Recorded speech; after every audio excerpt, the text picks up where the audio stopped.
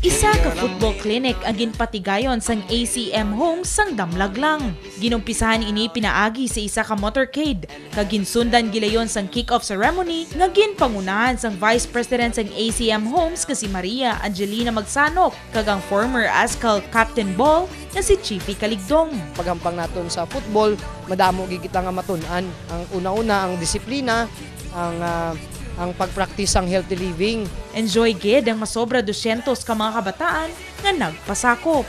Isa ini ka pamaagi sang ACM Homes para mapasangkad pagid ang talento sa mga kabataan sa patag sang sports. Kapag hatag importansya sa ikaayong lawas sang isa ka komunidad. This football fever event is a way for us to get to know the Ilonggos and give our market a taste of ACM's holistic view of living.